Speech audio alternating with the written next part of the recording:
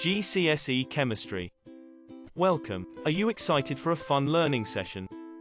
Make sure you have a book and a pen before we start.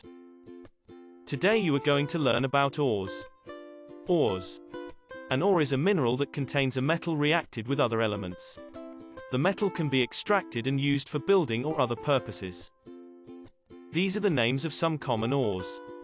Some metals are unreactive and are found in the native states, as the pure metal, rather than as ores. Examples of these are silver and gold. Thermal decomposition can be used to separate copper from its ore, in two separate reactions. The first is a decomposition reaction and the second is a reduction reaction. To extract metals more reactive than carbon we can use electrolysis.